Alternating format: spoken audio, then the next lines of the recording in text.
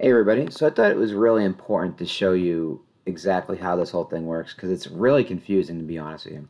So with multiple managed accounts, what you have to do is you have to build something to pass those lookups. And so some of the use cases you have for multiple managed accounts could be if you're a consultant, if say you, you have a, a group of consultancies and you all have VMware accounts, uh, that's a good example. Another good example would be if you have multiple mailboxes, maybe you have multiple mailboxes that are actually enabled, or even a, a mailbox in a different environment. Those are all good examples of things that you might use with multi-managed accounts. So if you ask product management in VMware, what they're going to tell you is is that you should use AD custom attributes because you basically have to build lookup values to pass the username into the uh, into the configuration.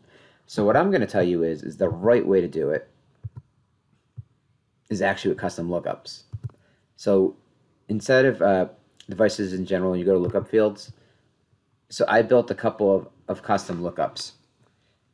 So I have one that gives me basically my username. I don't, we're not going to really use that here. It's not really necessary.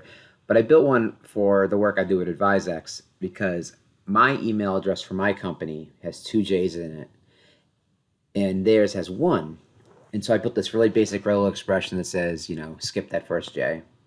And so you can see this lookup field, AdviseX. And so we're going to step right into actually configuring my AdviseX account in here, and then we'll go to a, we'll show you a demo shortly thereafter of what that user experience looks like. So inside of Boxer, if you go into Assign, and I really like the way they did this because it could have been very painful, but they actually did a really nice job on how they kind of brought everything together. So instead of your assignment, you're going to see under in the email settings section. I'll just wait for this to finish.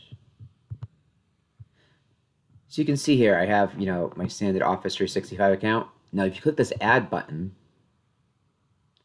it creates a separate one, and we'll call I'll call this AdviseX. And so you know we're all on Office 365 nowadays. We do this. Now, here's a little tip. If it's Office 365, you're doing notifications, you do not need this EWS URL. It's completely unnecessary. Just a little tip for you. And so you don't need the domain. It's Office 365. So what so you'll see there is I, I created that lookup so that what I can do is I go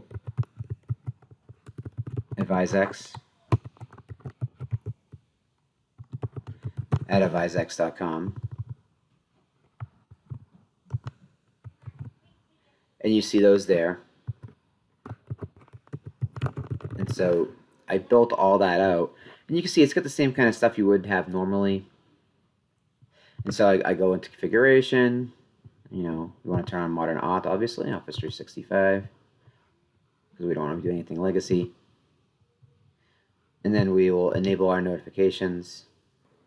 So we're back. I set that notif those notifications. We added that out so you have to see my token and all that good stuff. And you can do a lot of the other same things you were doing before too, right?